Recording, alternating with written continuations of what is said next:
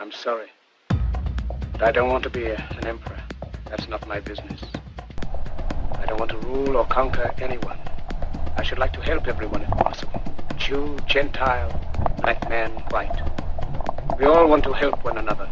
Human beings are like that. We want to live by each other's happiness, not by each other's misery. We don't want to hate and despise one another. In this world, there's room for everyone, and the good earth is rich and can provide for everyone. The way of life free and beautiful. We have lost the way. Greed has poisoned men's souls, has barricaded the world with hate, has goose-stepped us into misery and bloodshed. We have developed speed, we have shut ourselves in. Machinery that gives abundance has left us in want. Our knowledge has made us cynical, our cleverness hard and unkind. We think too much and feel too little.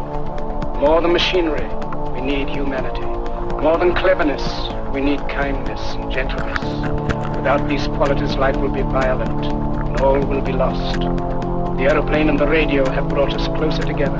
The very nature of these inventions cries out for the goodness in men, cries out for universal brotherhood, for the unity of us all. Even now, my voice is reaching millions throughout the world. Millions of despairing men, women, and little children. Victims of a system that makes men torture and imprison innocent people.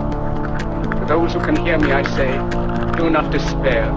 The misery that is now upon us is but the passing of greed, the bitterness of men who fear the way of human progress. The hate of men will pass, and dictators die, and the power they took from the people will return to the people.